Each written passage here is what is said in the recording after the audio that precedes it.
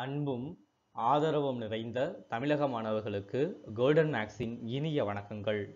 இன்னைக்கு நம்ம விகிதங்கள் தொடர்பான ஒரு சில கணக்குகளை பார்க்க போகிறோம் வாங்க கணக்குக்குள்ளே போகலாம் நம்மளுடைய முதல் கணக்கு ஒரு வகுப்பில் உள்ள மாணவ மற்றும் மாணவிகளின் விகிதம் நாலு ஈஸ்டு அஞ்சு என உள்ளது. மாணவனின் எண்ணிக்கை இருபத்தி நாலு எனில் மாணவிகளின் எண்ணிக்கை எவ்வளவு? இதுதான் நம்மளுடைய கேள்வி. இங்கே கொடுத்துருக்கிறது மாணவனினுடைய எண்ணிக்கை. மாணவனினுடைய எண்ணிக்கை இருபத்தி நாலுன்னு கொடுத்துருக்காங்க. ஸோ இந்த விகிதத்தில் மாணவனினுடைய விகிதம் எவ்வளவு? நாலு. இந்த நாளால் இந்த இருபத்தி நாலை அடிக்கணும். அப்போ ஆறு நான்கு இருபத்தி நாலு இப்போ நம்ம கண்டுபிடிக்க வேண்டியது மாணவிகளின் எண்ணிக்கை. ஸோ மாணவிகளினுடைய விகிதம் எவ்வளோ அஞ்சு. அந்த அஞ்சால நாம் பெருக்கணும்னா ஐயாறு முப்பது. ஸோ மாணவிகளினுடைய எண்ணிக்கை முப்பது. அவ்வளோதாங்க கணக்கு. சரி வாங்க. அடுத்த கணக்கு பார்ப்போம்.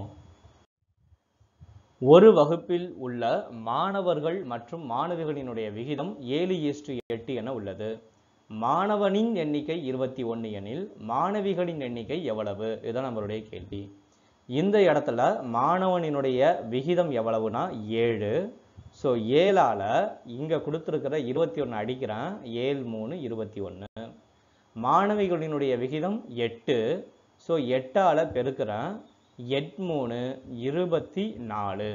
ஸோ நம்மளுடைய ஆன்சர் இருபத்தி நாலு.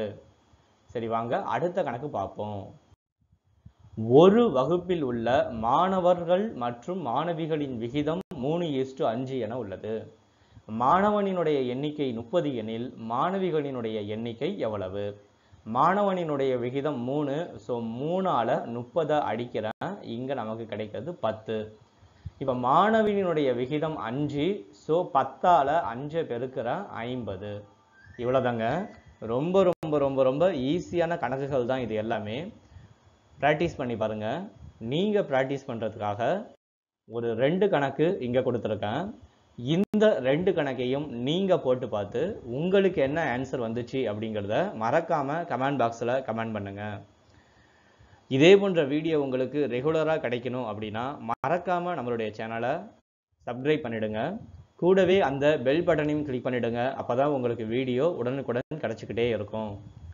மீண்டும் உங்களை அடுத்த கணக்கில் சந்திக்கிறேன். அதுவரை நன்றி வணக்கம்.